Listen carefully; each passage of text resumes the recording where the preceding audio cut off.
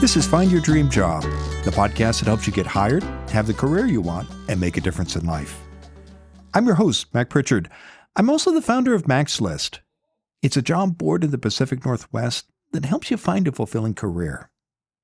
One of the best ways to get good at job hunting is to talk to people who do it well. That's why once a month I interview a Mac's List reader who found a job they love. Our guest today is Shae Noble. She's the HR manager of Kyocera International. It's a diversified manufacturing company in Vancouver, Washington. Shae Noble believes in the power of authenticity. In a story you can find on the Mac's List website, Shae says the first step she takes in a job search is to review her resume, delete anything she wants to avoid repeating, and make sure her resume aligns with what she wants to do next. Shae, why do you love your job? I really love uh, creating workplaces where people love to come to work every day.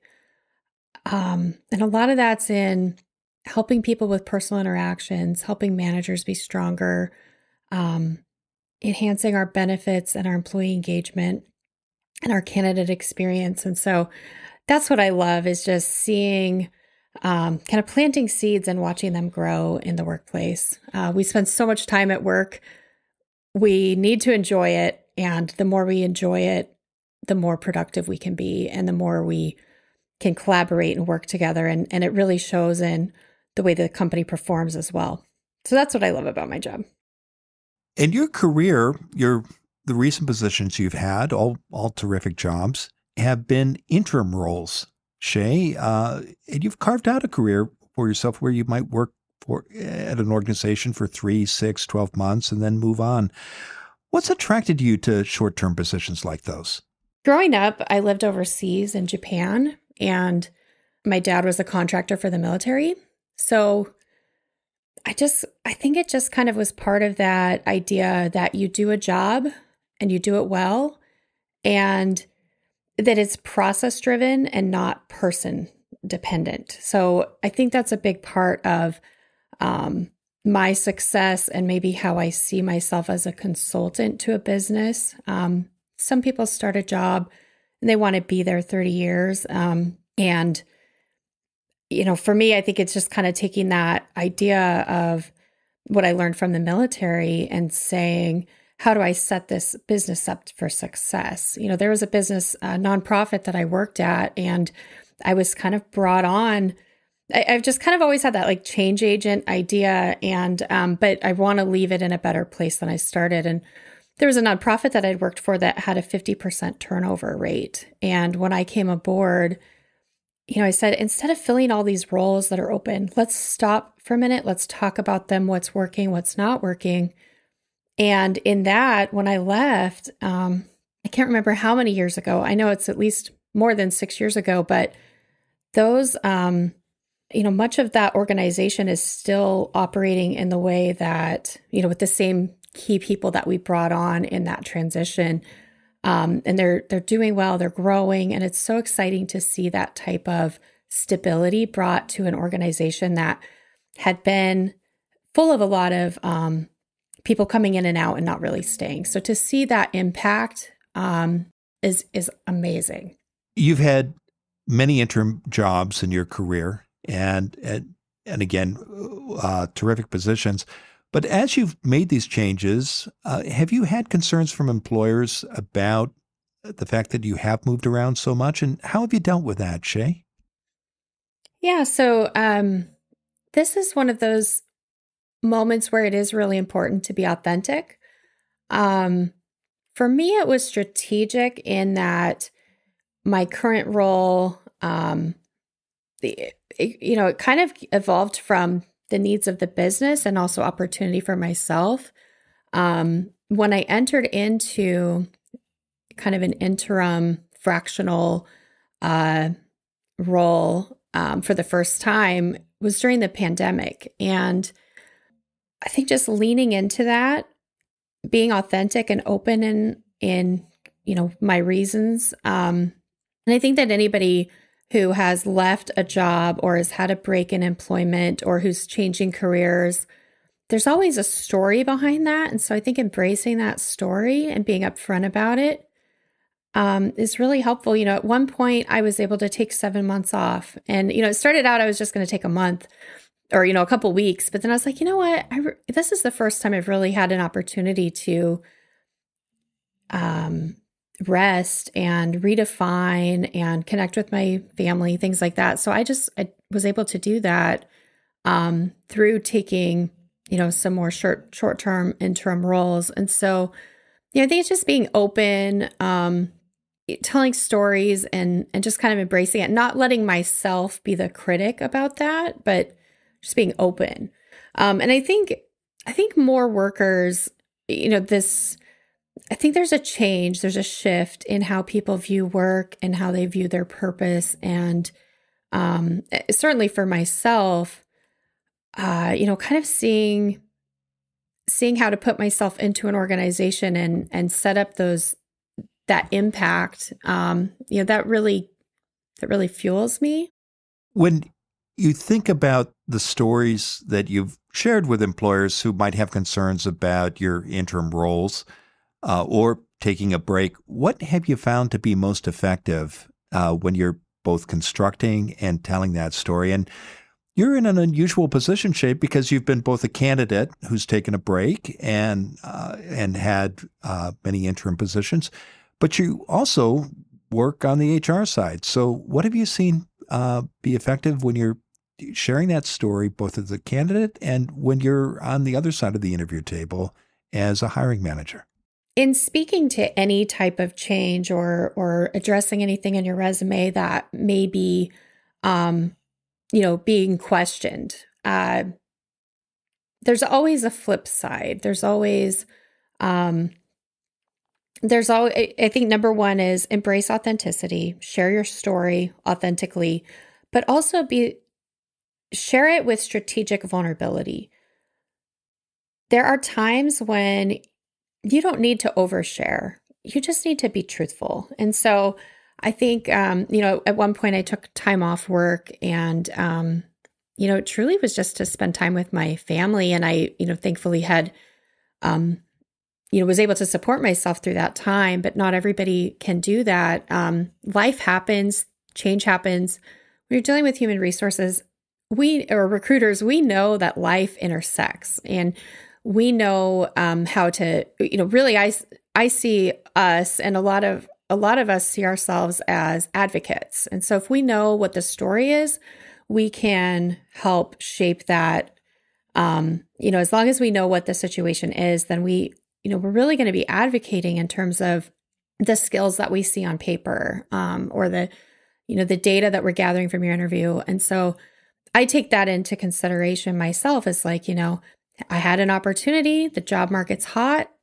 Um, you know, I don't think anybody's going to turn down a job that they've gotten, you know, an increase or an, something that they've really been looking for in their career that maybe their current company doesn't offer um, you know, I think we just have to be open and embrace that, you know, the gig mar- the gig job market is is hot and a lot of people really like that right now and I mean, certainly for myself it's been really enjoyable to be able to see best practices throughout businesses. And I think that's really my answer to your first question is for me it's all about best practices. There's a benefit to being embedded in an organization for 10, 15 years or, or more.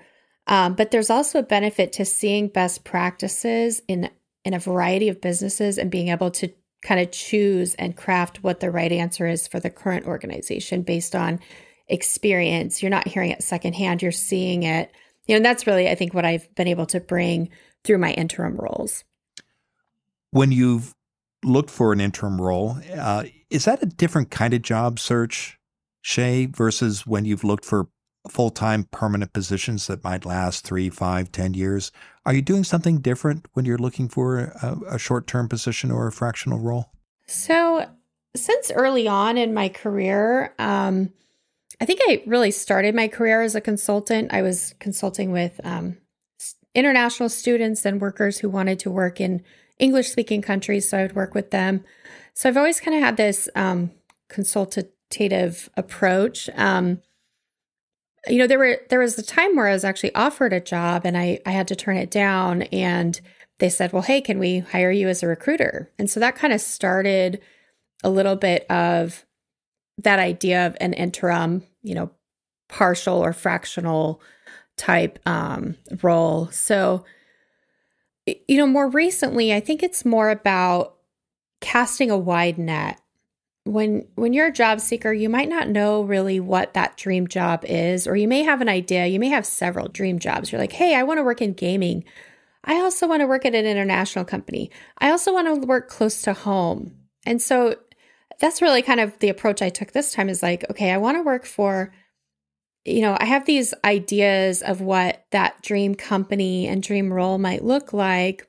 So, piecing things together, gathering information, and then kind of targeting those companies that I know are close to home and meet these, check these other boxes. Um, and then also casting a wide net, seeing what opportunities come up.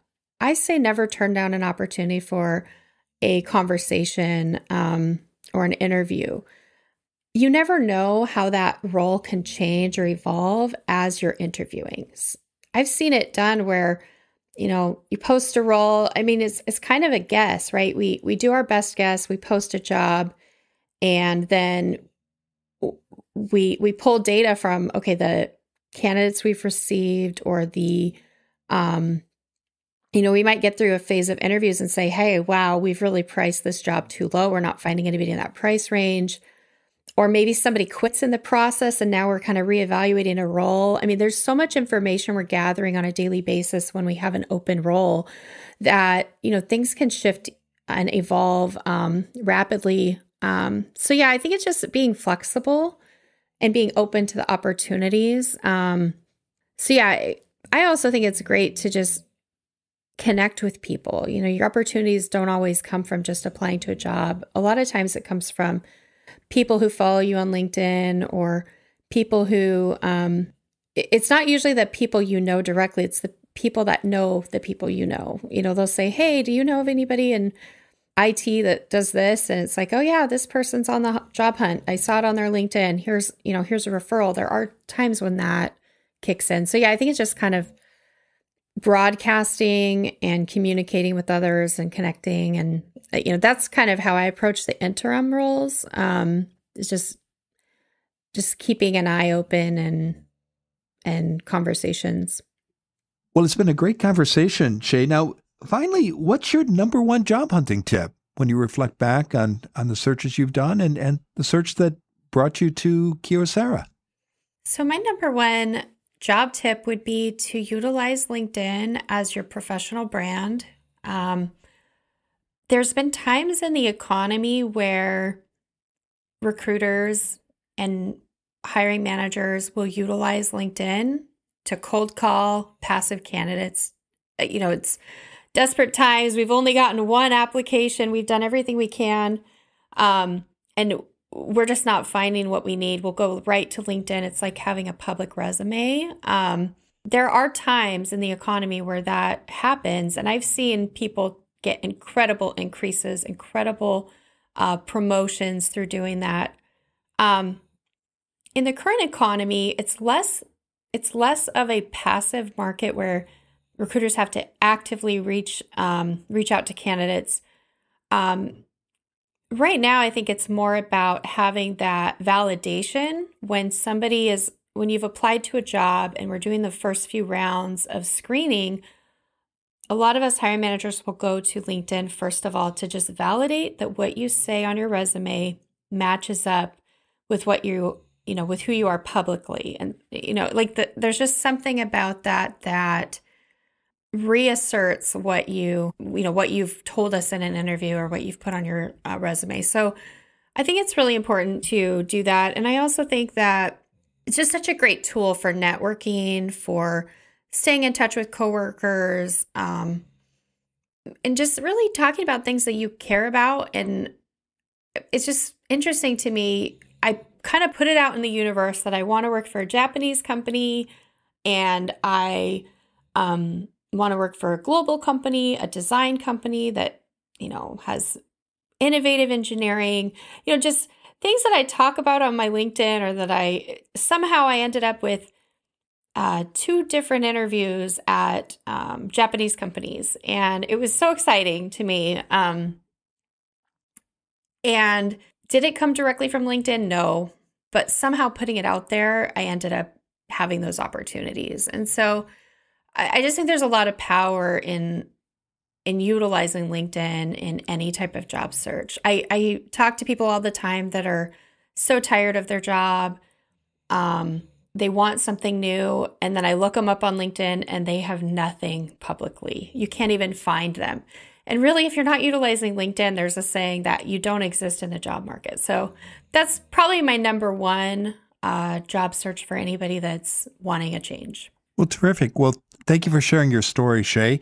To learn more about Shae Noble's job search, visit macslist.org slash stories. And check out the Mac's List website for dozens of other success stories. On the second Friday of every month, we add a new interview with a Mac's List reader who's found a dream job. Go to macslist.org slash stories. In the meantime, thank you for listening to today's bonus episode of Find Your Dream Job. This show is produced by Mac's List. Susan Thornton Hoff schedules our guests and writes our newsletter. Lisa Kislenberry Anderson manages our social media. Our sound engineer and editor is Matt Fiorillo. Don Mole creates our transcripts, and our music is by Frederick Trujillo. This is Mac Prichard. See you next week.